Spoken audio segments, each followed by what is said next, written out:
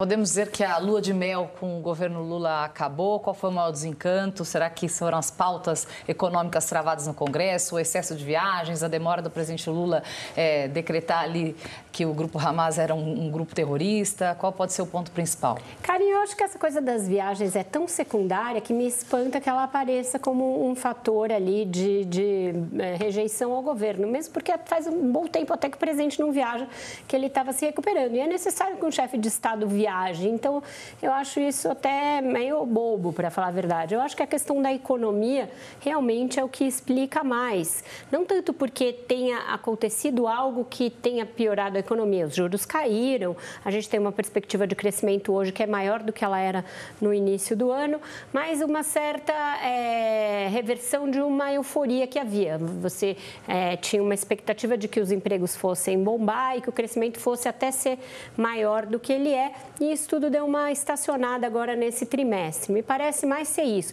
Essa questão a que o Felipe Nunes se refere, dessa cristalização da polarização, também parece explicar um pouco. E ela se reflete em todos os assuntos. Se reflete nessa questão da avaliação em relação ao Hamas, se reflete nessa questão das viagens e se reflete até, por exemplo, na eleição da Argentina.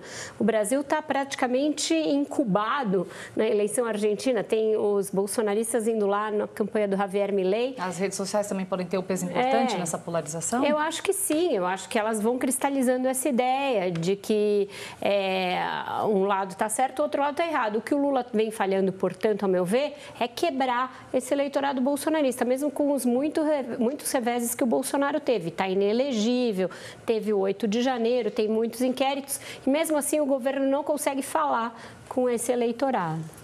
Cienes, o que mais pesou né, para a queda da avaliação uh, da economia brasileira? O, o, governo precisa focar mais no tema, a Haddad precisa de mais presença e mais ajuda do presidente Lula para destravar essas pautas mais complicadas? É, eu acho que é uma ótima questão, porque, como a Vera mencionou, se você pegar os dados no começo do ano para aqui, por exemplo, o desemprego, ele caiu o desemprego.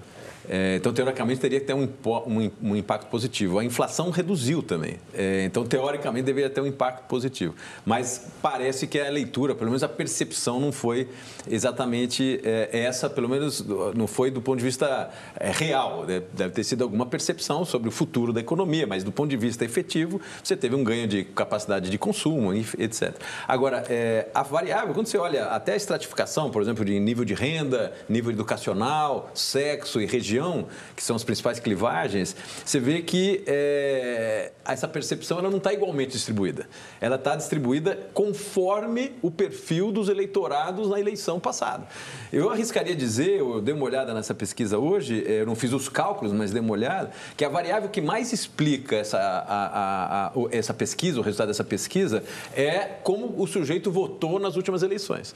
Então, mais, porque isso ficou consolidado. Se o sujeito votou lá atrás em Bolsonaro, mesmo sendo da renda mais alta, a percepção dele no, no Lula tende a ser mais negativa ao longo do ano. Se o sujeito mesmo de renda mais alta votou é, com o Lula, a percepção acaba sendo mais positiva. E vi, vale para as outras variáveis. Então, assim, eu acho que tem uma, um descolamento, por incrível que pareça, entre a experiência com o novo governo, do ponto de vista econômico, pelo menos, que deveria, pelos números econômicos, ter melhorado, não brutalmente, mas melhorado, com a, com a experiência política do governo Lula, que faz, às vezes, talvez se sobrepor à, opinião do sujeito com uma questão de uma variável que seria material, seria concreta, capacidade de compra, é, inflação, etc., por uma percepção política sobre o que poderia estar ocorrendo na economia. E aí essa sobreposição foi contrária ao Lula na média. Né?